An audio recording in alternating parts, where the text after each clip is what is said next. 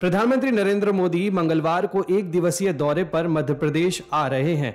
भारी बारिश के पूर्व अनुमान को देखते हुए भोपाल में रोड शो और शहडोल का दौरा स्थगित कर दिया गया है। भोपाल में प्रधानमंत्री दो वंदे भारत ट्रेन को हरी झंडी दिखाएँगे और भाजपा बूथ विस्तारक कार्यक्रम में भाग लेंगे। इस बीच भोपाल में राजभवन से पुलिस कंट्रोल रूम तक मोदी के प्रस्तावित रोड शो में मौसम ने खलल डाला और रोड शो स्थगित कर दिया गया है। इस बात की जानकारी खुद मुख्यमंत्री शिवराज सिंह चौहान ने दी है। कल 27 जून को भारी वर्षा की संभावनाओं के कारण माननीय प्रधानमंत्री श्रीमान नरेंद्र मोदी जी का लालपुर और पकरिया का कार्यक्रम स्थगित किया जा रहा है। कल हज़ारों हज़ार की तादाद में जनता का समुद्र लालपुर उमड़ने वाला था, लेकिन भारी बारिश के पूर्वानुमान के कारण जनता को किसी तरह की कोई परेशानी ना हो। ये माननीय प्रधानमंत्री जी चाहते हैं।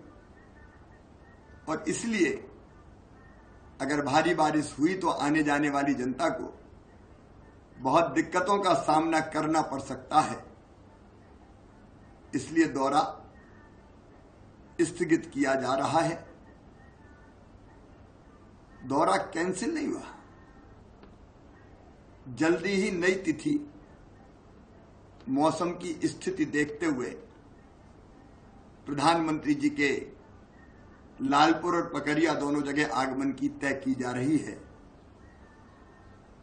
प्रधानमंत्री जी बहुत संवेदनशील है और इसलिए उन्होंने ये फैसला लिया है। मैं जनता को यह अपील करता हूँ कि निराश होने की आवश्यकता नहीं है। माननीय प्रधानमंत्री जी, जल्दी हमारे बीच आने वाले हैं। हमारा टेंट, पंडाल और सारी व्यवस्थाएँ वहाँ यथावत खड़ी रहेगी, क्योंकि अतिशीघ्र माननीय प्रधानमंत्री जी आएँगे और जल्दी हम आपको तिथि बताएँगे। लेकिन भोपाल का माननीय प्रधानमंत्री जी का दौरा यथावत है। दो महीने में ये दूसरा मौका है जब प्रधानमंत्री का रोड शो भोपाल में रद्द हुआ है। प्रधानमंत्री नरेंद्र मोदी इससे पहले एक अप्रैल को भोपाल आए थे।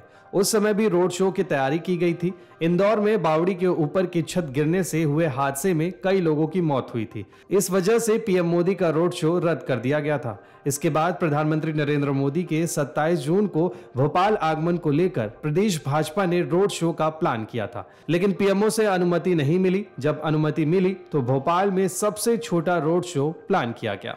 Video desk Amar Ujala dot com Amar Ujala अब आपके टीवी पर भी अपने स्मार्ट टीवी पर यूट्यूब पर सर्च करें अमर उजाला चैनल सब्सक्राइब करें और देखें ताज़ा खबरें वो भी एचडी क्वालिटी में और हाँ बेल आइकन दबाना ना भूलें ताकि हर खबर हो आपके घर अमर उजाला निष्पक्ष निर्भी निरंतर